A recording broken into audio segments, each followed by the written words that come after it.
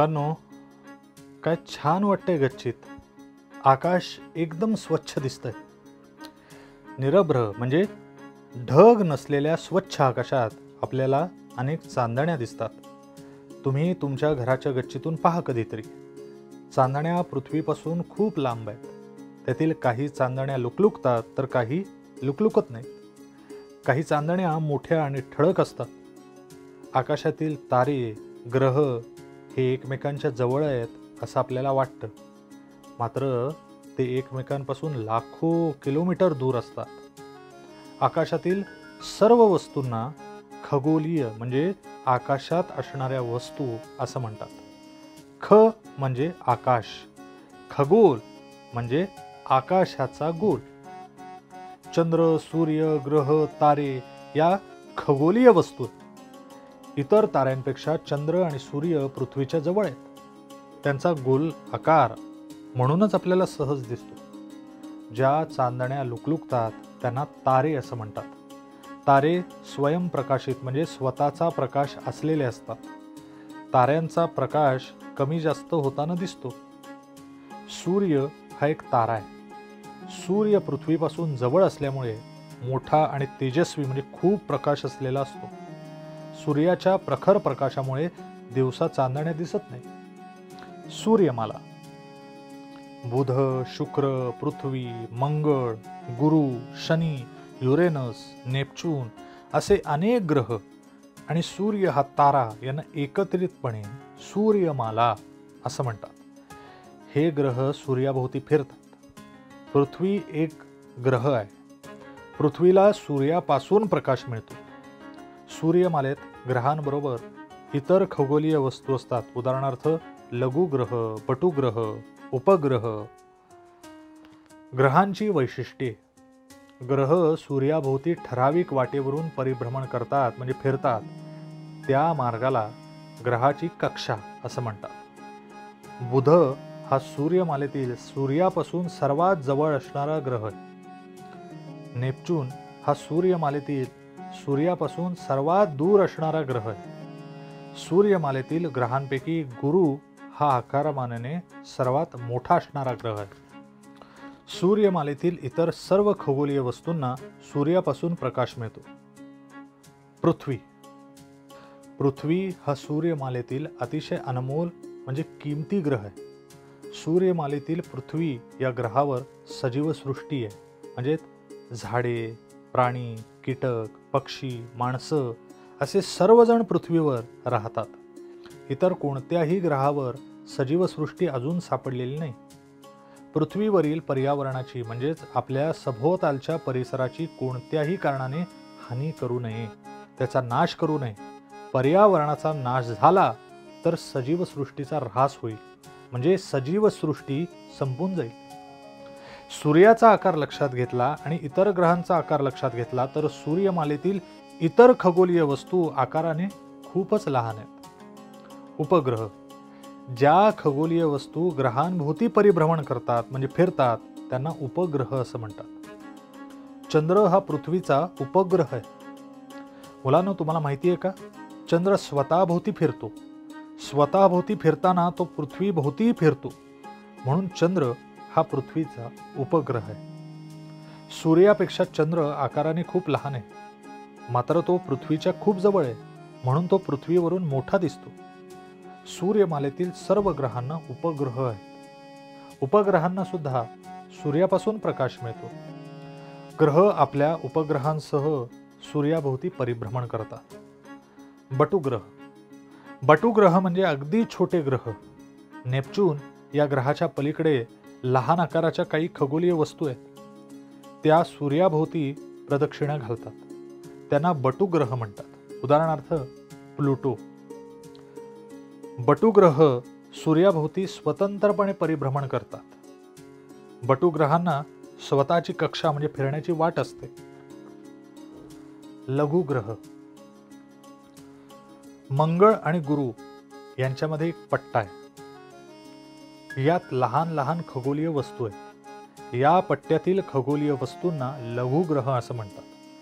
लघुग्रह सूर्याभोवती स्वतंत्रपणे परिभ्रमण करतात. सूर्यमालेत ग्रह उपग्रह लघुग्रह आणि बटुग्रह आहेत. गुरुत्वाकर्षण खगोलीय वस्तूंमध्ये एकमेकांना स्वतःकडे आकर्षित करण्याची म्हणजे ओढण्याची शक्ती असते. या शक्तीला गुरुत्वाकर्षण शक्ती असं म्हणतात. सूर्य जेव्हा ग्रहांना स्वतःकडे ओढून घेत असतो मात्र तेव्हाच ग्रह सूर्यापासून दूर जाण्याचा प्रयत्न करतात.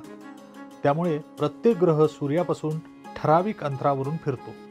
म्हणजेच प्रत्येक ग्रह ठराविक कक्षेत परिभ्रमण करतो म्हणजे फिरतो. मुलांनो तुम्ही चेंडू वर उडवला की थोड्या वेळाने काय होईल बरं? असं का होतं? पृथ्वीकडे गुरुत्वाकर्षण शक्ती आहे. पृथ्वीच्या गुरुत्वाकर्षण शक्तीमुळे पृथ्वीवरील वस्तू पृथ्वीवरच राहतात. उदाहरणार्थ चेंडू किंवा एखादी वस्तू जोरात वर फेकली तरी ती शेवटी जमिनीवर येऊन पडते. झाडावरून फळ पडले किंवा पान गळाले तर गुरुत्वाकर्षणामुळे ते जमिनीवर पडते. अवकाश. अवकाश म्हणजे मोकळी जागा. ग्रह तारे ज्या मोकळ्या जागेत फिरतात ती जागा म्हणजे अवकाश. यालाच अंतराळ असंही म्हणतात. मानवाला खगोलीय वस्तूंचे संशोधन करण्यासाठी म्हणजे त्यांचा अभ्यास करण्यासाठी अवकाशात जावे लागते. त्यासाठी वेगळ्या प्रकारचे पण विमानासारखे वर वर जाणारे यंत्र किंवा रॉकेट लागते. याला अवकाशयान असे म्हणतात. अवकाशयानात बसून अंतराळात जाणाऱ्या व्यक्तीला अंतराळवीर असं म्हणतात. पृथ्वीला गुरुत्वाकर्षण शक्ती असल्यामुळे पृथ्वी वेगवेगळ्या वस्तू स्वतःकडे ओढत असते. तरीही पृथ्वीवरून एखादी वस्तू अवकाशात पाठवता येते. उदाहरणार्थ अवकाशयान म्हणजे रॉकेट. पृथ्वी रॉकेटला जेवढ्या शक्तीने स्वतःकडे उडते त्यापेक्षा जास्त शक्ती रॉकेटला लावली तरच रॉकेट पृथ्वीपासून दूर जाते. म्हणजेच विरुद्ध शक्ती लावल्याने रॉकेट पृथ्वीपासून दूर जाते. या पद्धतीला अवकाश प्रक्षेपण तंत्र असे म्हणतात. बऱ्याच देशांनी अवकाश प्रक्षेपणाचा अभ्यास केला आहे अवकाशयाने तयार केलेली आहेत. भारताने सुद्धा स्वतःची अवकाशयाने तयार करून अवकाशात पाठवलेली आहेत. आंध्र प्रदेशातील श्रीहरिकोटा येथे हे ठिकाण बंगालच्या उपसागराच्या किनाऱ्याजवळ आहे. इथे भारतीय अवकाश प्रक्षेपण केंद्र आहे. भारतीय अवकाश संशोधन संस्था इंडियन स्पेस रिसर्च ऑर्गनायझेशन ही संस्था बंगळूर येथे आहे. भारतातील या संस्थेत खगोलीय वस्तूंविषयी संशोधन केले जाते. मंगळाच्या सखोल अभ्यासासाठी इस्रोच्या सहाय्याने भारतातच तयार केलेले मंगलयान भारताने पाच नोव्हेंबर दोन हजार तेरा रोजी अंतराळात पाठवले होते. तसेच बावीस ऑक्टोबर दोन हजार अठरा रोजी भारताने चांद्रयान एक हे भारतातच तयार केलेले यान चंद्रावर पाठवले.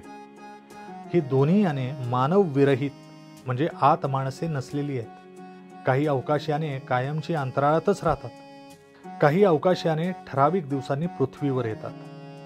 वैज्ञानिक असलेले अंतराळवीर अवकाशयानातून जातात. राकेश शर्मा हे पहिले भारतीय अंतराळवीर एकोणीसशे चौऱ्याऐंशी साली अवकाशात गेले होते.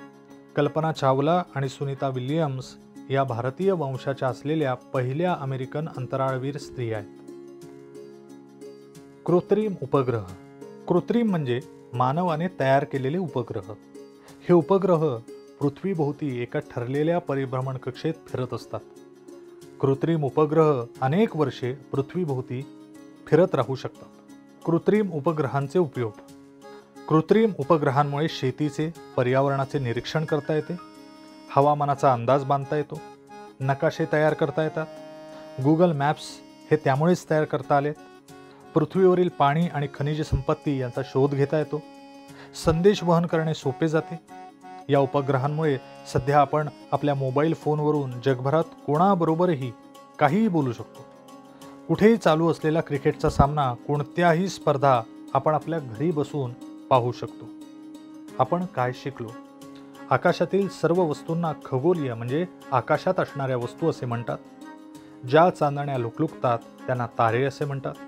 बुध शुक्र पृथ्वी मंगळ गुरु शनी युरेनस नेपच्यून असे अनेक ग्रह आणि सूर्य हा तारा यांना एकत्रितपणे सूर्यमाला असे म्हणतात.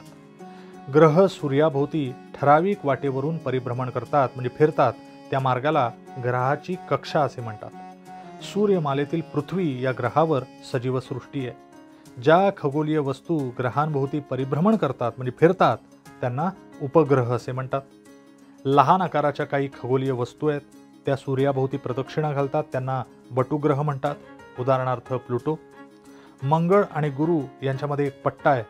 यात लहान लहान खगोलीय वस्तू आहेत. या पट्ट्यातील खगोलीय वस्तूंना लघुग्रह असे म्हणतात.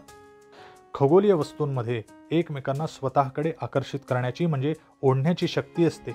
या शक्तीला गुरुत्वाकर्षण शक्ती असं म्हणतात. भारतीय अवकाश संशोधन संस्था ISRO. Indian space research organisation ही भारतातील संस्था खगोलीय वस्तूंविषयी संशोधन करते. स्वाध्याय कोण ते लिहा? एक लुकलुकणाऱ्या चांदण्या. दोन सूर्याभोवती फिरण्याचा ग्रहांचा मार्ग. तीन ग्रहांभोवती फिरणाऱ्या खगोलीय वस्तू. उत्तरे लिहा. अंतराळ यानातून जाणाऱ्या वैज्ञानिकांना काय म्हणतात? खगोलीय वस्तूंमध्ये एकमेकांना स्वतःकडे आकर्षित करण्याची शक्ती असते या शक्तीला काय म्हणतात? मंगळ आणि गुरु यांच्यामधील पट्ट्यातील लहान लहान खगोलीय वस्तूंना काय म्हणतात?